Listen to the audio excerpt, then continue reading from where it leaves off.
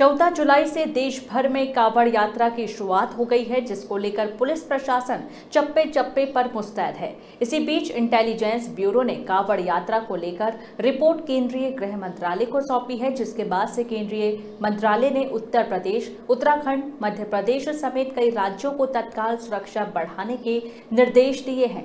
वहीं हरिद्वार और ऋषिकेश को खास सतर्कता बरतने को कहा है। वहीं जिसको लेकर हरिद्वार पुलिस ने पैरा मिलिट्री की छह अधिक टीमों की केंद्र से मांग की है। हरिद्वार के एसएसपी योगेंद्र सिंह रावत ने बताया कि कावड़ यात्रा आतंकी संगठनों के लिए एक नरम बिंदु है, लेकिन पुलिस प्रशासन सशक्त है। हरिद्वार से राम गोपाल की रिपोर्ट। इस प्रकार की कुछ बात आ सकती है कि कांवड़ एक मेला, एक सॉफ्ट टारगेट भी होता है। भारी संख्या में यहाँ पर श्रद्धालु आते हैं तो एक एक इजी टारगेट भी हो सकता है और इससे कि एक सनसनी भी किसी भी संगठन को मिल सकती है। उस हिसाब से सतर्क रहने के निर्देश प्राप्त हुए हैं और हम लोग पूरी तरह से